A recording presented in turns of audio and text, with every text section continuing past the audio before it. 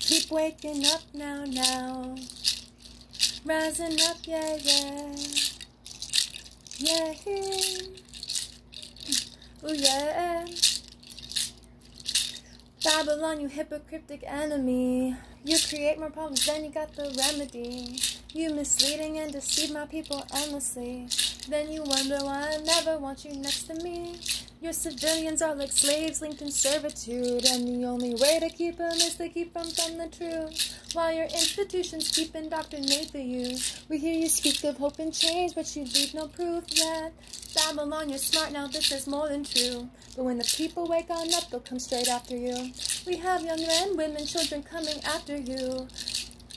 Life with you's an illusion, not reality. And for anyone who names a peace, you name insanity. You subdue my people with stories of fantasies, false governments, false courts, false authorities, and myths. Iration, all nations, one people, one destiny. Well, yeah, irations, all nations, one people one destiny. Babylon, you are a sickness to society. There is no other that can claim a notoriety. With all your chemical concoctions of variety, what you really seek is for my people to go quietly.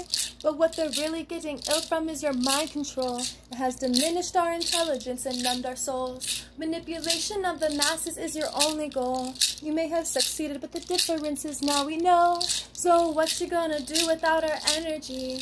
Cause now we're using it to make a brand new energy. Yeah, we infuse our meditation, our philosophies, learning to transcend beyond the realms of this reality.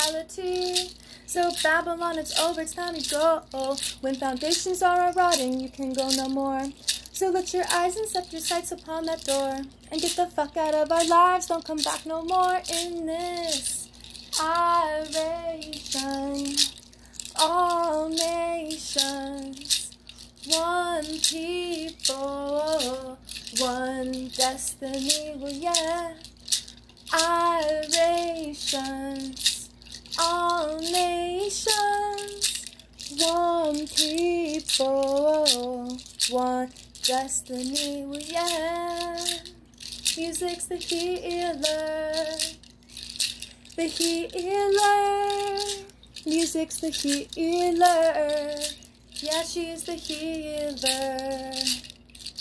The healer. The healer. Oh, she's the healer in this iration. Oh, yeah. All nations, one people, one destiny. Yeah. One people. All the people out there that are trying to spread love and peace, keep doing what you're doing because we need it so badly right now with all the people out there with the rage and the anger. It's totally accept i mean don't get me wrong. It's totally valid. There's a reason to be angry but you're feeding it. You're feeding that dark energy that you're so against. You're fighting violence with violence. Right now we need to we need to fight with love and light that's the only way we're going to get out of this. This has been happening for centuries and centuries, and it's time to break a cycle. We're not breaking a cycle by feeding them and fighting them with what they've given us. No. The violence and the hate and the crime, that's not how we're going to win this. We're only going to win with love.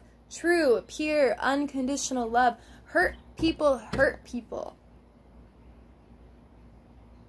How often have you hurt somebody and you didn't mean to, but you hurt someone because you've been hurt? You know? Love people. Where is the love? By the way, the song that I just sang was by Nattali Rize. Look her up. All right? Beautiful black woman. But you know, that doesn't even really matter. the people that aren't posting things right now about Black Lives Matter are being called racist. Black people who are posting and talking about uh, how this is not right and that we shouldn't be out there vandalizing and protesting and this is not the right way, those black people are getting called racist. They're getting asked if they grew up in white privileged neighborhoods and lost their culture. That's not right. Okay? The people that are preaching love and peace and saying that everyone's equal and that we all need to just stand together and stop attacking each other, those people are getting called racist, white privilege. That's fucked up. Okay? That's not how we're going to win this. We are on the same team. We need to stop attacking each other. We need to speak our truth, and that's what I'm doing right here, right now. And I know I'm going to get a lot of hate for this. And that's okay. Because this is what we do in the light. This is what light workers do, what light warriors do. This is how we're going to win the world. This is how we're going to shift a paradigm and stop living the way we have been. And we're going to move cycles. And we're going to come together. And it's going to be beautiful. But people, we need to wake up. Okay? We need to we need to stop fighting hate with hate. That's what hate wants. It wants you to feed it. The more you feed it with your energy, the more existent it becomes. Energy goes where intention or energy flows where intention goes. So if you put all your focus on all the bad shit that's going on in the world, you're only making it exist more in your life. That's why a lot of people aren't on Facebook and Instagram right now and social media. That's why a lot of people are at home and meditating and praying because this is not what they want to feed. They're trying to stop this. It's not that they don't care. It's that that's the way to go right now. We need to get off social media first of all. That's that's a big part of this. This is being fed and we are being manipulated the masses are being manipulated right now. This is all over the world. Stop letting them control your mind. We can't do this anymore. It's time to break a pattern. It's time to break the cycle.